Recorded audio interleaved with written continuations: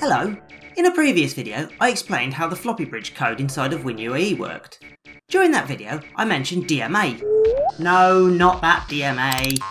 In this video, hmm? not that DMA either. In this video, we're going to explore what DMA is, where it's used, and why it's so important.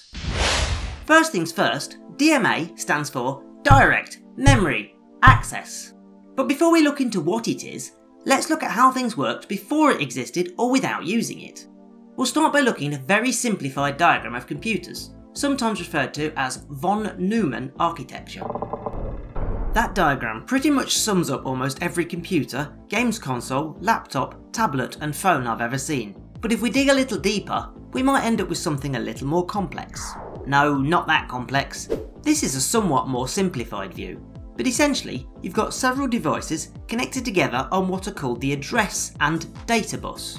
These buses are physical wires or connections between devices. The size of the address bus, i.e. the number of wires, controls how many addresses are available. For example, the total amount of RAM. The size of the data bus determines how much data can be read or written to at a time. In this example, we're going to assume that this system uses memory mapped I.O.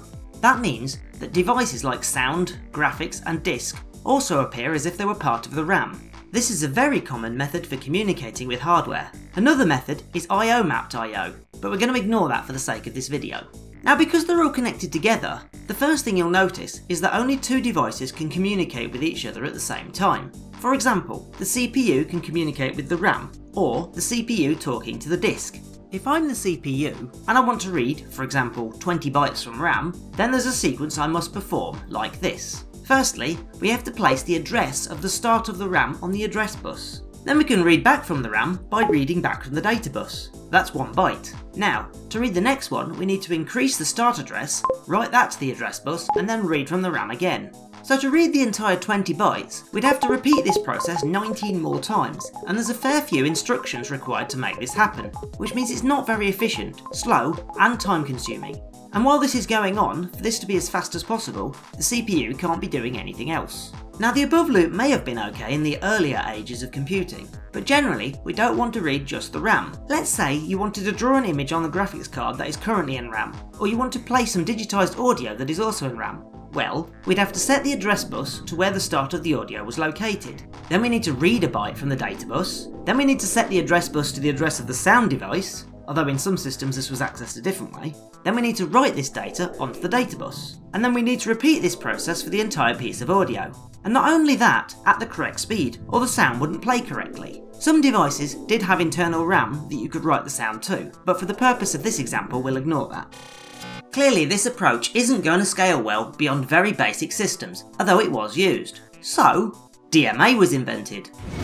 Now the idea being, what if you could tell another device, for example a DMA controller, the source and destination addresses and how much data it has to transfer, and then have it perform the transfer instead of the CPU, and at a much faster rate, leaving the CPU free to do something else. Then, when the transfer is complete, have this DMA controller notify the CPU so the transfer doesn't actually need to be monitored. Well this is exactly what DMA is, and it splits into two types. The first, and most basic, is called third-party DMA, and it is literally as we've described. The CPU would communicate with the device, or sometimes a special DMA controller chip, and tell it to copy one or more words from or to another address. The device performing the DMA would then go about doing this, and when finished would usually generate an interrupt request, which the CPU could use to do something as a result of the transfer completing. The alternative to this is first party DMA, also known as bus mastering. This time, the CPU or one of the attached devices can be granted control and ownership of the memory and data bus. While the device has this ownership, no other device is allowed to take control. This exclusive access allows the device to write directly from and to system RAM without the CPU being involved. The big difference here though is the device can initiate the transfer all on its own, without the CPU. But not all things are as easy as they seem. The only restriction here is that some special measures need to be put in place to make sure other devices, including the CPU, don't try and communicate with the bus while this is going on. For example, some systems would simply halt the CPU while this transfer was in progress.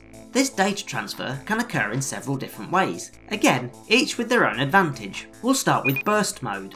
An entire block of data is transferred all in one go, but while this is going on, for safety, the CPU is usually inactive. But that wastes a lot of CPU cycles which could be used for something else. So instead, there's several other methods. One example is cycle stealing mode. This is a little bit more sneaky, but it's not as fast as burst mode. When the device wants to transfer data from and to the CPU, it asks for control of the bus. And when granted by the CPU, it will copy usually one piece of data, the width of the data bus, and then release control back to the CPU. Then it would repeat this process until the transfer is completed. This is great, as the CPU can then carry on working mostly, but still not at full speed. There's also a mode that's completely transparent to the CPU. In this mode, the device only transfers data when the CPU is doing something else that doesn't use the address or data bus. The CPU never stops working in this mode, but the transfer may take a little bit longer as the speed of the transfer may be a little bit less predictable. Systems like the Amiga have a different transparent trick. It uses an interleaved approach. The entire system is run by a system clock which sends out pulses at a fast but steady rate. Access to the data and address buses, at least in theory, is split in two. On the even clock cycles, the CPU is allowed to access the address and data bus exclusively, and for the odd cycles, the various custom chips have control. Agnus, the DMA controller, is in charge of this time slicing, but in reality, depending on things like screen modes, some cycles are actually stolen back from the CPU for other transfers. That, however, is a topic for another day. When I was in college learning to program in Turbo Pascal in MS-DOS, still massively into Amiga tracker music, I wanted to create my own mod file play routines.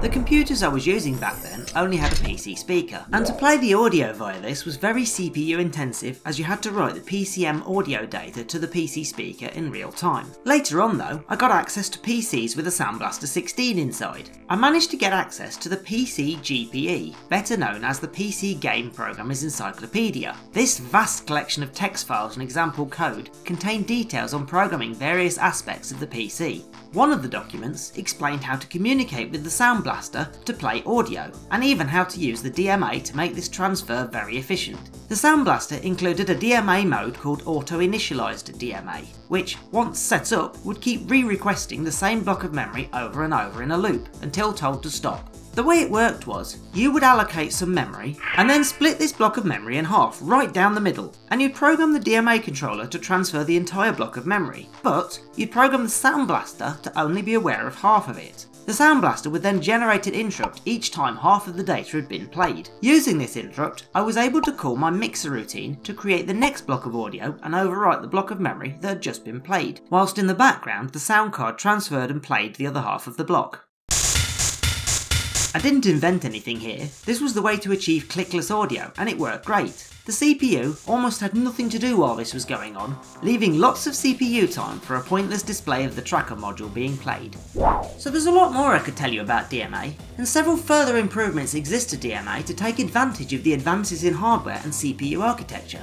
But I hope that's been a good background into the subject. Hmm. Why not consider setting up your own DMA transfer to support me? I call it Patreon. Anyway, thanks for watching, and I'll see you in the next one.